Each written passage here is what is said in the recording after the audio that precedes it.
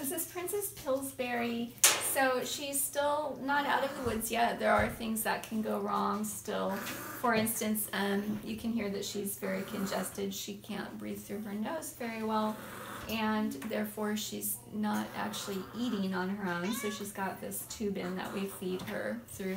So uh, Princess Pillsbury has pulled her tube out a couple of times. So not being able to keep her tube in her or not being able to keep a tube in her to feed through would mean we wouldn't be able to save her because we wouldn't be able to feed her and give her medications because she takes quite a lot of uh, antifungal medication. So she's she's doing very well, but um, you know she's not in the clear yet. Not not until she's able to breathe and eat on her own, and until we're able to medicate her without a tube. but she's not suffering, and she keeps getting progressively better. So we're gonna keep trying.